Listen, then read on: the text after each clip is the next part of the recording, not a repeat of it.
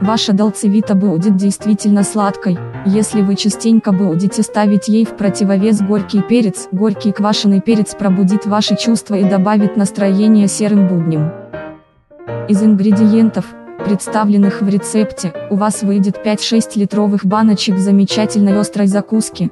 Квашеный острый перец – лучший друг мяса и тезка всех закусок. Кстати, укроп и чеснок использовать совсем не обязательно, без них тоже будет очень вкусно. Итак, вот мой любимый простой рецепт квашеных острых перцев. Сколько и какие продукты понадобятся, узнают те, кто досмотрит до конца. Вкуснее тем, кто подпишется. Ингредиенты этого вкуснейшего блюда.